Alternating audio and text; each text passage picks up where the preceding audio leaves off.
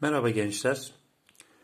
Geçen dersimizde kırılma konusunu işlemiştik. Bu dersimizde ünitemizin son konusu olan merceklere giriş yapacağız.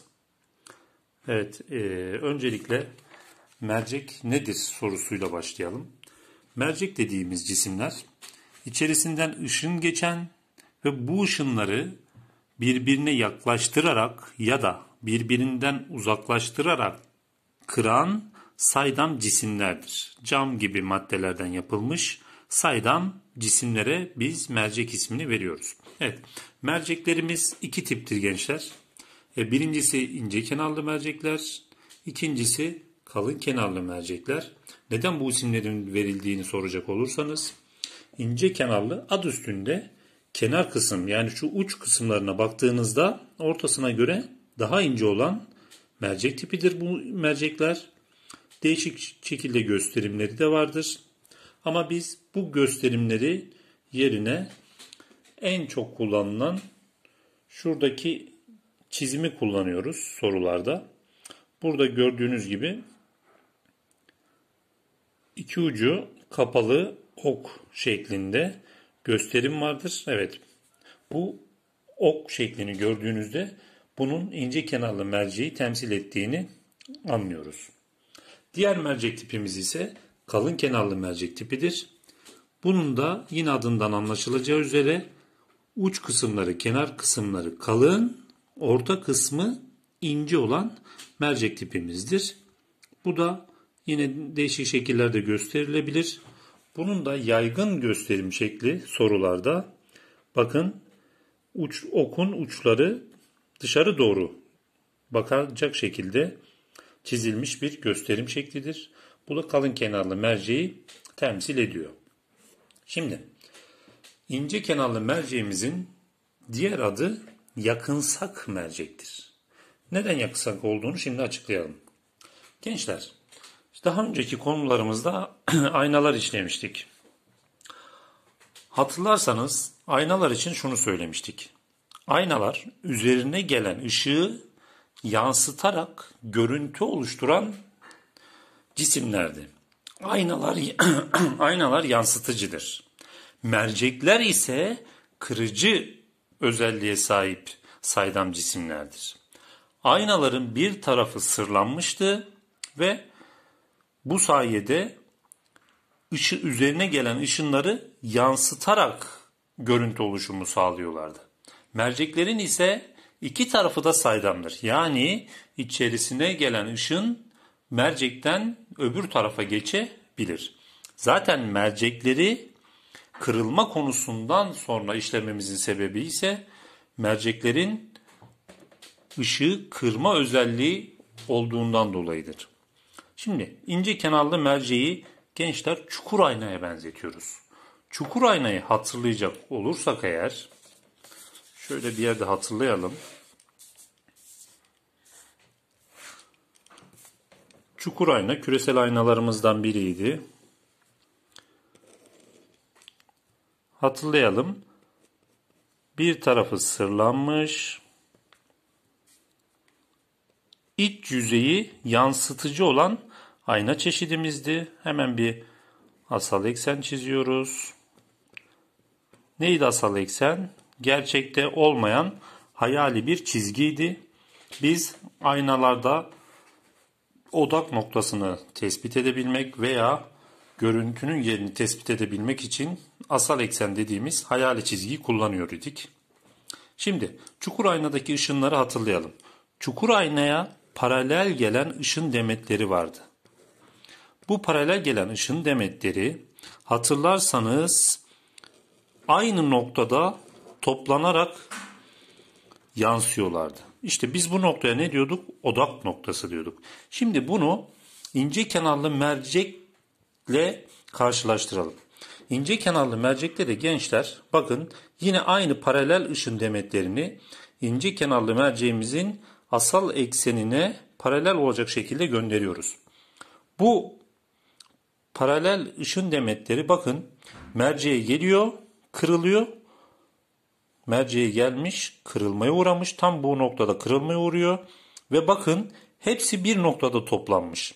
İster aşağıdan gelen ışınlar, ister yukarıdan gelen ışınlar hepsi bir noktada toplanacak şekilde kırılmaya uğruyorlar. İşte bu nokta bizim ince kenarlı merceğimizin odak noktasıdır. Yine aynalarda olduğu gibi büyük F harfiyle gösterilir. İşte ince kenarlı merceğin odak noktasını bu şekilde tespit ediyoruz.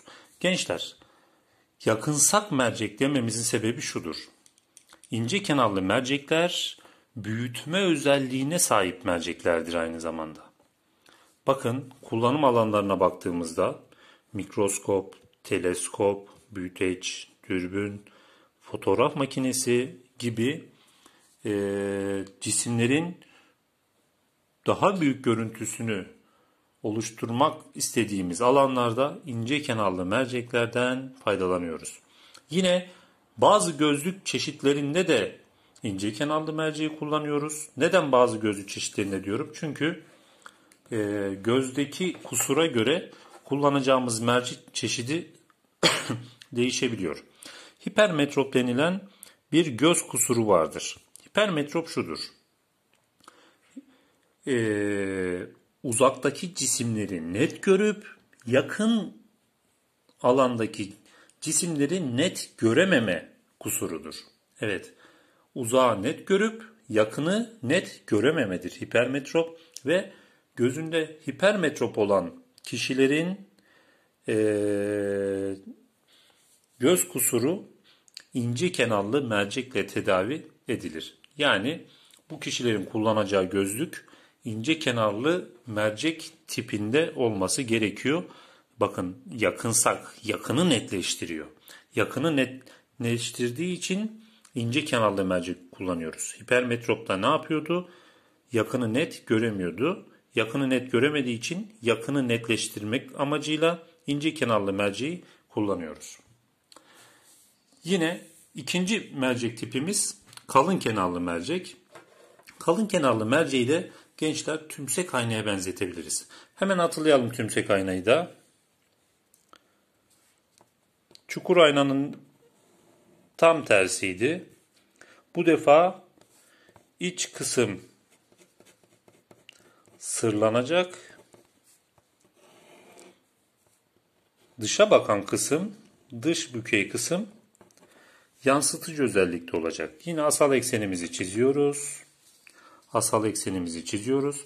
Şimdi tümsek aynanın yansıtıcı yüzeyine yani dış bükey tarafına ne yapıyoruz? Bir paralel ışın demeti gönderiyoruz. Gönderelim.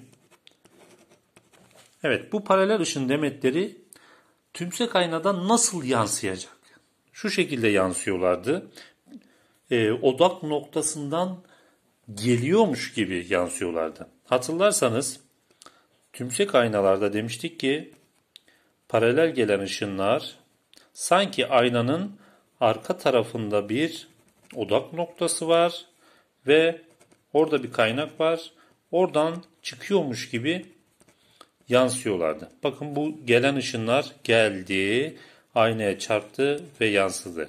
Geldi, aynaya çarptı, yansıdı. Bütün ışınlar paralel gelen, asal eksene paralel gelen bütün ışınlar aynı şekilde hareket edecek. Sanki aynanın arkasında bir kaynak var ve bu ışınlar da bu kaynaktan çıkıyormuş gibi yansıyorlar. Tümsek aynaların odak noktasını bu şekilde tespit ediyorduk. Bakın çukur ayna toplayıcı, aynı şekilde ince kenarlı mercek de bir yerde topluyor. Tümsek ayna ise dağıtıcıydı. Şimdi kalın kenarlı merceği de tümsek aynaya benzeteceğiz. Kalın kenarlı mercekte de bakın ışınların kırılma şekline tümsek aynaya benziyor. Işınlar geldi.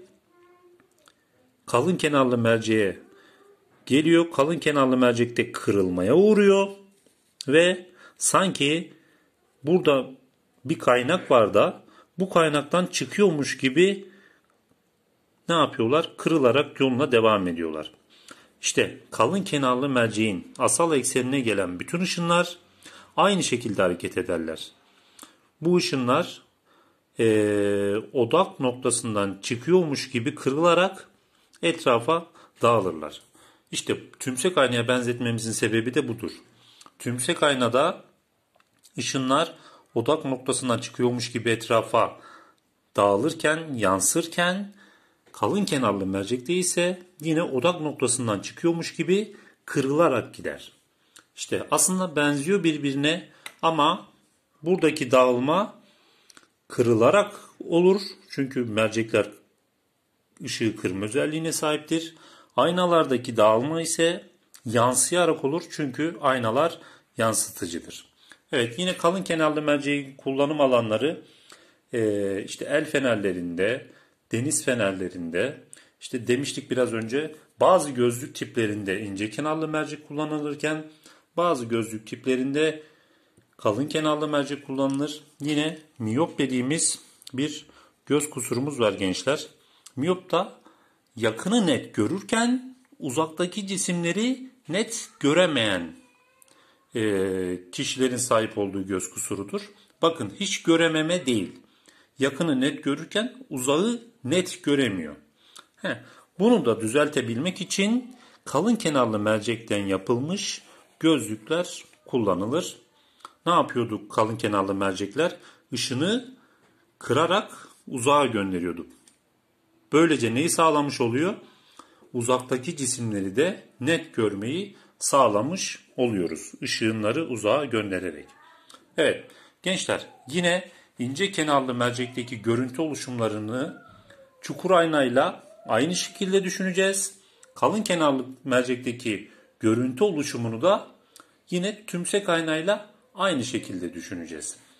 Hatırlarsanız tümsek aynadaki görüntü oluşumları nasıldı? Her zaman düz ve cisimden küçük oluşurdu tümsek aynadaki görüntüler. Kalın kenarlı mercek için de aynı şeyi söyleyebiliriz. Kalın kenarlı mercekte oluşan görüntüler her zaman düz ve cisimden küçük olur. İnce kenarlı mercekte ise aynı düz ayna gibi e, pardon çukur ayna gibi düşüneceğiz. Çukur aynada nasıl oluşurdu görüntüler? Düz de oluşabilir, ters de oluşabilir. Cisimden büyük de olabilir, küçük de olabilir, cismin boyuna eşit de olabilir. İşte ince kenarlı mercekteki görüntü oluşumu da çukur aynayla aynı şekilde oluşur. Evet gençler, ee, bu ünitemizin sonuna geldik. Merceklerde iki tip mercekler var. Kitabınızdan da yine e, tekrarınızı yapın, takibini e, yapın ve hemen ünitemizin sonunda bu merceklerin kullanım alanları ve e, değerlendirme sorularımız var. Ünite sonu değerlendirme sorularını çözerek hemen bu ünitemizi sıcağı sıcağına pekiştirelim. Bir dahaki ünitemizde görüşmek dileğiyle. Hoşçakalın.